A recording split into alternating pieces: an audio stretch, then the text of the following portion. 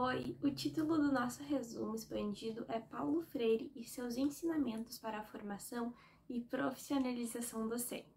Meu nome é Genice Gendrei, eu sou uma das autoras, eu sou aluna não regular do programa de pós-graduação em mestrado da UERGS. Eu sou professora de educação infantil e produtora de conteúdo digital para concurso no Instagram e também no YouTube. A outra autora é a doutora Viviane Maciel Machado Maurente, que ela é docente do programa de pós-graduação em mestrado profissional em educação da UERGS Litoral Norte, Osório. Para a realização desse trabalho, foi necessária a leitura da obra proposta pela disciplina, então, O Legado de Paulo Freire, História, Princípios, Pressupostos, Saberes e Fazeres na Educação, do programa de mestrado. Obra essa intitulada Paulo Freire, um educador do povo, de autoria de Roseli Salete Caldarte e Edgar Jorge Cullen, de 2002. O trabalho foi feito a partir do diálogo com a minha compreensão de educação e com a minha prática docente.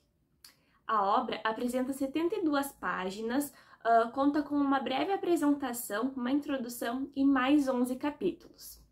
O objetivo do trabalho, do resumo, é descrever quão importante é a obra analisada de Paulo Freire e que a mesma é apropriada ao cenário da educação contemporânea, bem como com a minha prática docente e ainda que pode contribuir para a formação de acadêmicos e profissionais na área da educação.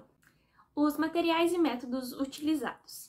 Para a realização desse trabalho foi necessária a leitura da obra, como eu já havia citado. Ao realizar a leitura crítica, observaram-se os aspectos positivos da mesma, além de ser realizado, quando possível, uma associação com a minha experiência de vida, tanto profissional quanto pessoal. Portanto, a metodologia usada foi de cunho bibliográfico e, ao analisar a própria trajetória, interpretando-a em seus significados, optou-se pela abordagem qualitativa. É possível observar na obra que a pedagogia do conservadorismo ela humilha o aluno, já a pedagogia usada por Paulo Freire, ela dignifica, pois coloca o professor e o aluno trabalhando lado a lado. Ambos aprendem, ambos ensinam. Assim, podemos dizer que a metodologia de Freire é uma metodologia humana. A sua teoria foi baseada na sua prática diária. Sabe-se que o ser humano ele é nulo quando nasce, ele vai se fazendo no decorrer dos dias, em sua vivência. Nesse sentido, devemos estar diariamente buscando conhecimento, uh, tanto como estudantes, como profissionais, seres humanos que somos. Pois podemos dizer que é o conhecimento que possibilita nosso crescimento e a mudança.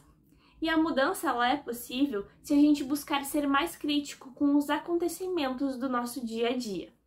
Como Freire já escrevia em Pedagogia da Indignação, o futuro não nos faz. Nós é que nos refazemos na luta para fazê-lo.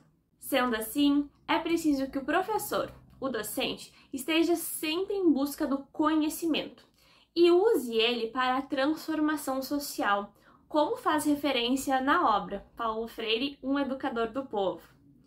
A educação só é libertadora quando o aluno está buscando a construção do conhecimento, a sua aprendizagem junto com o professor, e quando o professor se interessa a aprender junto com o aluno. E esse é o cenário da educação contemporânea. Seria essa uma breve apresentação do nosso resumo expandido. Obrigada!